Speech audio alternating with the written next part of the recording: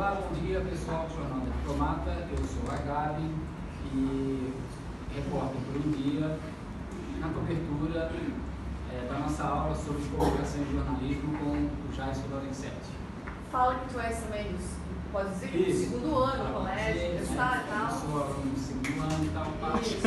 Eu gosto que você dê repórter vai aí, fazer isso? Isso,